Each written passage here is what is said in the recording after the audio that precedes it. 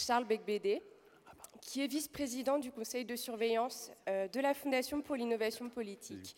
Il prône la réduction de la fiscalité qui pèse sur les entreprises et notamment l'instauration d'un mécanisme, celui de la flat tax. Bonsoir. Alors, j'ai une très bonne nouvelle à vous annoncer. La France euh, est numéro un euh, de, tout l'OCDE en termes de prélèvement obligatoire sur euh, PIB. On est à 46,3%. et donc c'est une bonne nouvelle, n'est-ce pas? Le consentement à l'impôt, je crois qu'entre les pigeons, les tondus, les bonnets rouges, on est d'accord que ça ne va pas trop. Il y a il y a vraiment une perception, ça a été dit à l'instant par Aldo, une perception extrêmement négative de l'impôt. À tort ou raison, mais ce qui compte dans l'économie, c'est la perception, c'est la confiance. Il y a, on est arrivé à un niveau de, confiscation euh, de l'activité. Et, cela dit, les chiffres le montrent, 46,3, numéro 1 donc, de tous les pays occidentaux. Et l'organisation de cette, recette fiscale est extrêmement coûteuse. Alors, quelle est ma bonne nouvelle? Ben, La bonne nouvelle, c'est que si on prend juste euh, la fiscalité euh, des ménages et des entreprises, c'est juste 215 euh, milliards d'euros, hein, on est à 179 milliards sur les ménages et 36 milliards sur les entreprises, eh bien en fait, on pourrait arriver aux mêmes recettes fiscales, à cette même recette de 215 milliards d'euros, avec, avec une structure d'impôt qui serait extrêmement simple, c'est la flat tax, avec un taux beaucoup plus bas. Alors comment on arrive à ce petit miracle? Est-ce que vous connaissez Barthélemy de Lafémas Barthélemy de Lafémas. Alors c'était, euh, ce n'est pas un lointain ancêtre d'Arthur Laffaire, même si le nom est très proche. Euh, Arthur Laffaire, qui était euh, le père de la courbe éponyme, il était conseiller de Reagan et c'est lui qui euh, a conduit euh, Chirac et puis beaucoup à dire trop d'impôts tue l'impôt, avant, euh, avant de, se contredire après lorsqu'ils étaient au pouvoir. Mais en tout cas, eh bien Barthélemy de la FEMA, c'était un conseiller d'Henri IV. C'était, il y avait Sully, on se souvient tous de Sully, labourage et pâturage, il était un petit peu obsédé par l'agriculture, mais Barthélemy, lui, c'était la fiscalité. Et c'est lui qui disait les autos tuent les totaux. Donc euh, c'était, euh, il avait, c'était trop d'impôts, tu l'impôt euh, bien avant.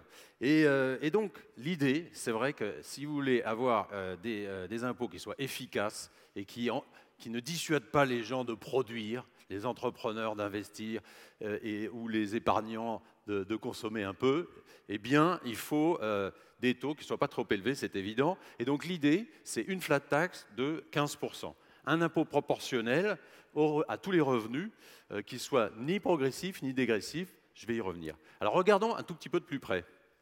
Sur les ménages, déjà, euh, petit rappel, donc euh, je disais tout à l'heure, c'était 179 milliards qui sont prélevés chaque année, rien que ça. Alors ça se décompose de la façon suivante.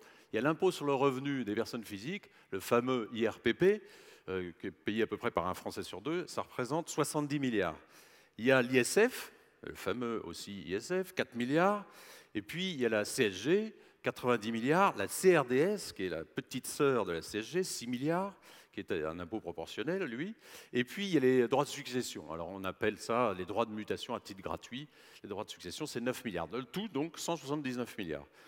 Et les revenus Alors, les revenus d'en face, c'est 1300 milliards. Bien.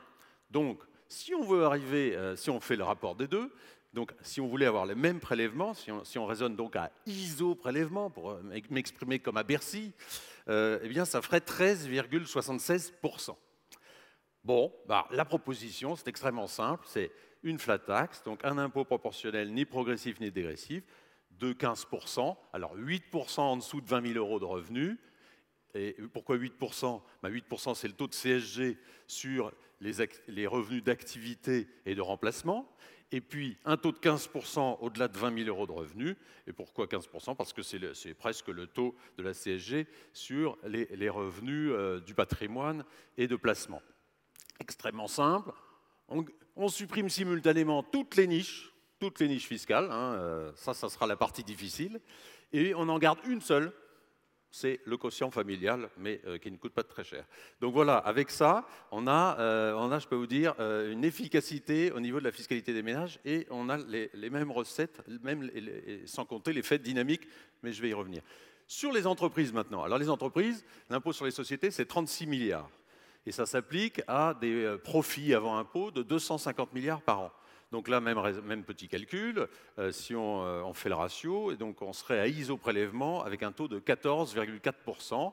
Donc là, très simple, on a eu un impôt sur les bénéfices avant impôt, une flat tax de 15%, et on a même une légère augmentation des recettes, sans, sans parler de l'effet dynamique qu'il pourrait y avoir sur euh, cette réforme euh, extrêmement simple qu'est la flat tax.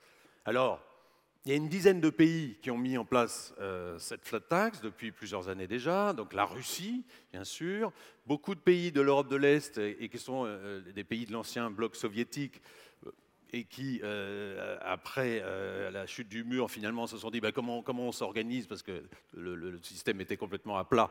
Mais ils ont mis en place des flat tax. Mais il y a des pays aussi comme Hong Kong ou Singapour, qu'Aldo Cardozo envisageait, euh, dont Aldo parlait à l'instant.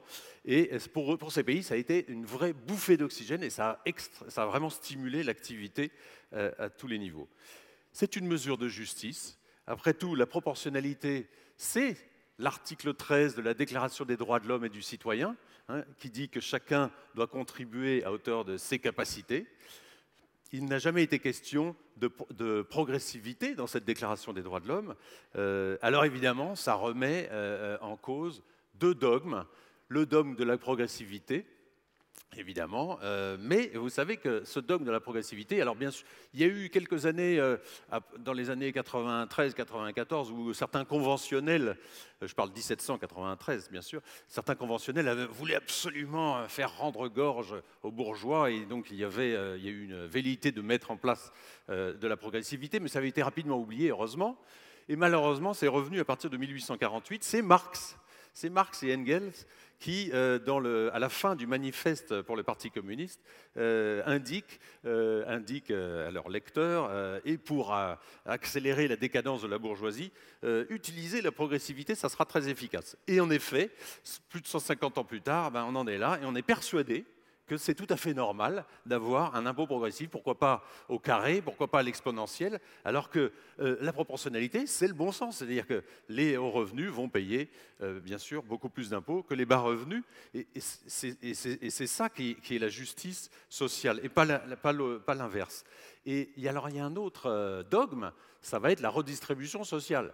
On dit oui, mais alors comment vous allez lutter contre les inégalités euh, s'il n'y a plus de progressivité, si vous ne prenez pas beaucoup, beaucoup plus aux revenus qu'aux bas revenus eh bien, je suis désolé, mais non, parce que c'est pas comme ça qu'on lutte contre les inégalités. Pour la lutte contre les inégalités, c'est permettre à, chacun, y compris ceux qui sont en bas de l'échelle, de s'élever et de progresser. Sinon, c'est l'égalitarisme et ça ne marche pas. Et donc, euh, ça, c'est euh, extrêmement important. L'impôt, l'impôt est là pour financer les charges publiques et c'est l'efficacité qui doit primer. Et la flat tax, c'est ce qu'il y a de plus efficace et c'est possible de le faire en France. Et j'ai essayé de vous le démontrer. Alors, conclusion, à 15% de flat tax, que ce soit sur les, profits des entreprises ou tous les revenus des particuliers, si on supprime simultanément toutes les niches fiscales, il y en a pour 80 milliards d'euros, on aurait donc la même recette, 80 milliards d'euros d'économie, donc plus de déficit, et, en plus, bien sûr, on a des économies de coûts énormes dans la collecte de l'impôt. On pourrait économiser euh, sans doute 10 000, euh, emplois dans la fonction publique. On a, euh, je ne l'ai pas chiffré, on lutte bien sûr de façon beaucoup plus efficace contre la fraude et l'évasion fiscale. Et puis, on a un effet de dynamique, d'entraînement extraordinaire, puisqu'on va avoir des, entrepreneurs qui vont se mettre à réinvestir, à, embaucher. On va avoir des, des épargnants qui, au lieu de surépargner parce qu'ils se disent mais comment je vais pouvoir payer mes impôts de l'année prochaine ou dans deux ans, eh bien, euh, vont euh, se, remettre à consommer. Et donc, ça relance la croissance, et bien sûr, ça stimule la confiance.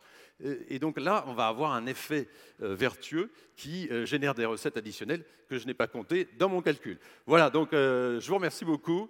Et c'est avec la flat tax, on peut faire de la France un, Eldorado et le, un des pays les plus attractifs au monde en matière fiscale. Merci beaucoup.